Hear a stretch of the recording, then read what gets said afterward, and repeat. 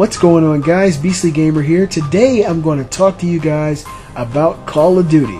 I've been doing a lot of Destiny. I've been talking about Destiny. Everybody's been talking about Destiny, and today I'm going to pull back a little bit to give you guys a taste of Call of Duty Advanced Warfare news. Now, we know Call of Duty Advanced Warfare is looming. In the next few weeks, people are going to start having this game in their hands. It looks like a very fun experience, and they just announced a new co-op mode called Exo Survival that looks like a lot of fun. It takes the typical horde mode of Gears of War and puts a spin on it, and it makes it pretty exciting. And today I'm going to show you guys some footage of Exo Survival, and I'm going to explain to you what you can expect from this new co-op mode. Exo Survival is a four-player co-op mode which allows you and three of your buddies to get into the game and take down waves of enemies. This mode can also be played two-player split screen, which makes it great for people who like couch co-op. As I said, this mode pits you and your crew against infinite enemies from grunts to drones to ravenous attack dogs to exosuit wearing equals and even mech suit wearing Goliaths. And these Goliaths can self destruct, so they're very dangerous. It takes place on all the multiplayer maps, so you will be able to play this mode on all the multiplayer maps on Advanced Warfare. Unlike Gears of War's Horde mode, there won't be a boss every 10th round. Instead, you will be given random objective based rounds, like collecting intel from fallen enemies in a certain amount of time. Finishing these objectives will earn you upgrade points. Exo Survival is designed to make you and your team think.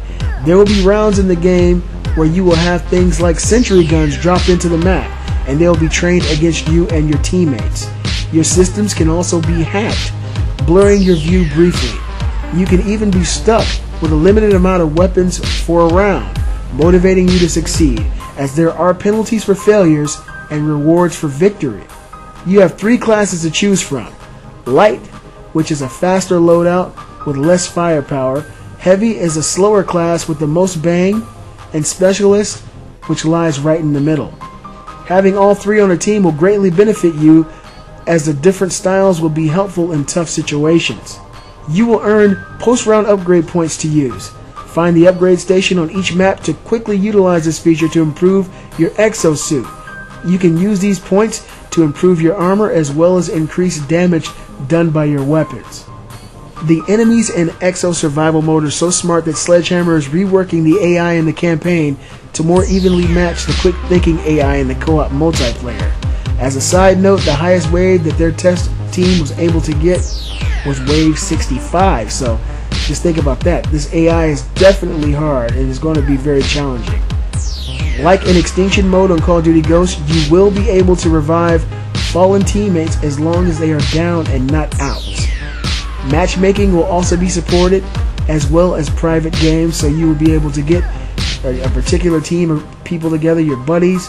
You'll be able to do whatever you want. I think that this mode looks really fun. I think it's going to be a really great time. I'm, I'm kind of excited to see how well or how smart this AI is because that's one thing that really gets me excited. How smart is the AI? I think the AI in Destiny is fantastic.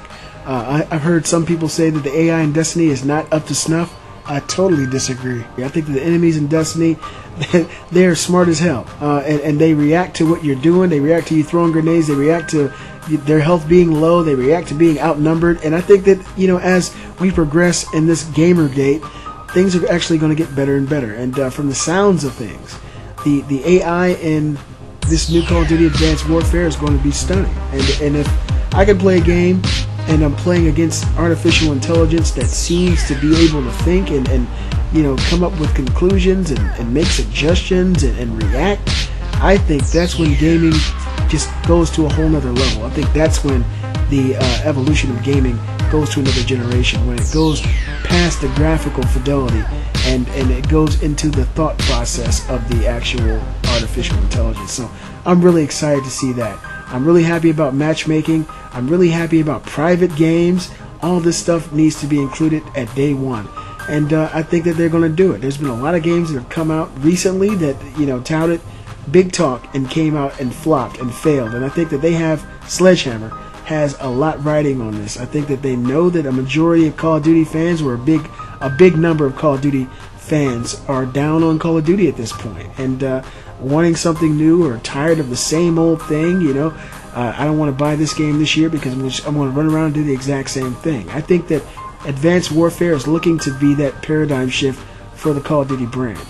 Um, it appears to be everything that's that's fun. You know, uh, there there are elements of Titanfall in it. There are elements of Crysis in it. There are elements that that make games fun, um, and uh, they're doing it right from from the look of things.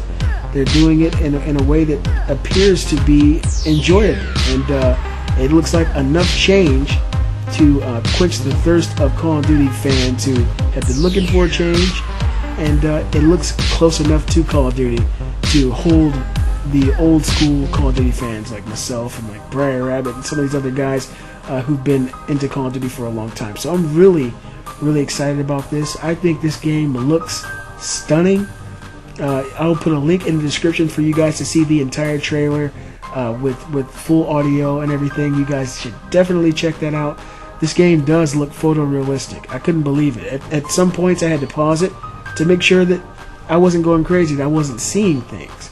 Because this game, especially during the cutscenes, looks so real that it looks like real people acting. It's Kevin Spacey looks almost photorealistic, and, and the other characters in the game look real. And uh, to me, this is next gen for sure as far as the graphical fidelity of this game.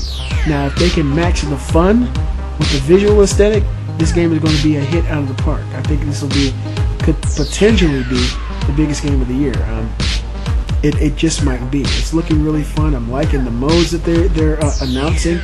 Uh, the game looks fast. It looks like it controls well.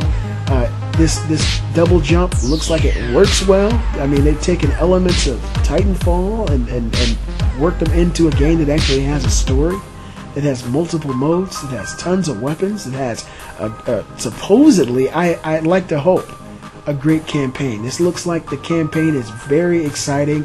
In that trailer, you're going to see aspects of the campaign that we haven't seen before, and it looks like it's going to be a hit out of the park. Uh, Call of Duty Advanced Warfare is looking really, really good, and now this Exo Survival mode is looking to be something that, even for people who don't like to, to, to do the typical, you know, P versus P, or you know, if people who don't want to do the competitive multiplayer, this is something for us for people who'd rather get in there with their buddies and take down waves of enemies that aren't stupid like zombies. This is going to be absolutely sick, and I'm really excited about it.